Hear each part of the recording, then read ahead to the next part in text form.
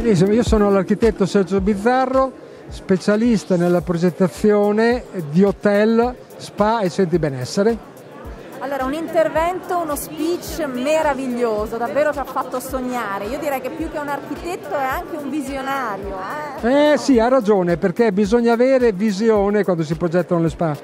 Io sono partito dal mio arido conoscere di architetto, arido nel senso che a fare muri, pavimenti, rivestimenti.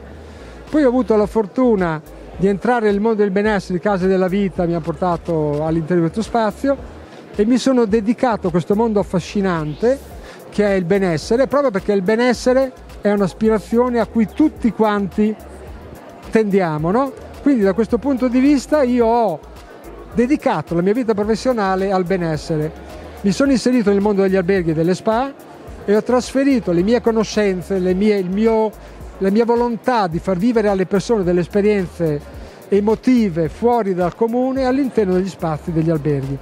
Niente di trascendentale per carità, però la volontà di fare vivere in totale bellezza e in totale comodità un'esperienza alberghiera, cosa che non sempre succede. È vero, confermiamo, tra l'altro siamo nell'area design qui perché come ho detto all'apertura di puntata c'è un'area dedicata totalmente al design, al breakfast, alle risorse umane. Beh, abbiamo viaggiato anche noi con la fantasia alla fine. Beh, mi fa piacere.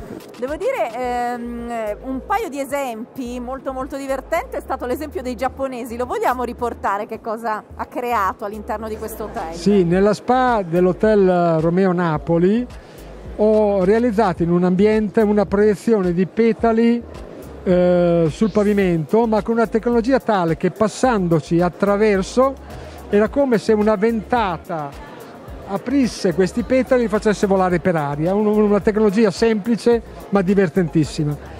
Molto d'effetto, uno non se l'aspetta perché passi in mezzo a queste cose, alle foglie, come correre in mezzo alle foglie secche sì, di, dell'autunno. avrei giocato anche io così. Ecco, benissimo, io mi sono ritrovato a vedere cinque distinti manager, erano in costumi a accappatoio, giapponesi di una certa età che correvano divertendosi da matti in mezzo a, queste, a questi petali di rosa che volavano in alto.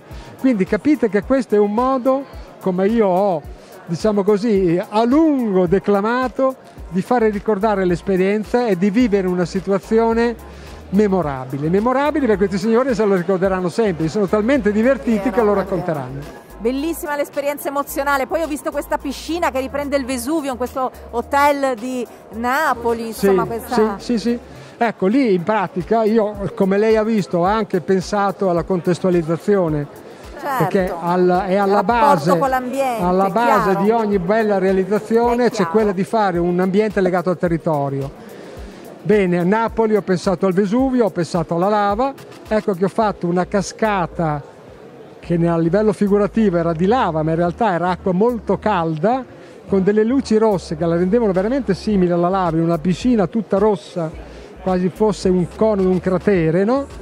E quindi l'esperienza era quella di vivere immersi all'interno di questo spazio lavico. È una cosa meravigliosa, l'architettura del paesaggio e del giardino, mettere in correlazione le cose, addirittura farsi il bagno in una vigna è possibile. Sì, certo, quello è una, un relais chateau che ho fatto in un progetto in Francia e ho avuto la fortuna di fare questo riasciatore all'interno di quelle che facevo chiamano domain, cioè un territorio coltivato in una in uva Grenache in cui facevano un vino molto quotato, molto quotato. Ho portato l'esperienza della spa attraverso dei camminamenti facendo degli idromassaggi in mezzo alla vigna, ma non solo quello, adesso non l'ho fatto vedere, ma c'è anche il percorso per andare nella vigna di notte con dei lettini con un signore che spiega le stelle per vedere il firmamento nel buio più totale in mezzo alla gracidare dei grilli e le lucciole. Sono, sono, esperienze importanti, dai. Esperienze pazzesche. Allora, davvero grazie perché ci ha regalato un tocco di bellezza, cosa che insomma oggi non è così scontata, soprattutto in questi tempi difficili. Vorrei essere un profeta della bellezza, mi fa piacere che lei me lo dica perché evidentemente no, sto raggiungendo il mio obiettivo. La ringrazio. Assolutamente sì, peraltro ricordiamo il Grand Hotel di Rimini, quell'hotel di Rimini che è primo in classifica ah, beh, l'hotel Belvedere, l'hotel Belvedere vedere, sì. Eh, ricordavo che questa signora l'ho incontrata, ha parlato in questo modo, uno speech, ma parliamo di 15 anni fa, mi ha detto io credo in quello che lei mi ha detto, le affido il mio albergo, avevo una pensione 3 stelle, in uh, una decina d'anni lavorando sulle camere, sulla spa, sulla, su una revisione totale del servizio a livello di qualità totale, è diventato il sesto albergo del mondo come reputazione, una cosa incredibile. Ecco. Complimenti da noi, da Medio Teleradio, da Silvia Cangelosi. Grazie, buon grazie lavoro. Grazie a lei, grazie a lei. Grazie, buon lavoro.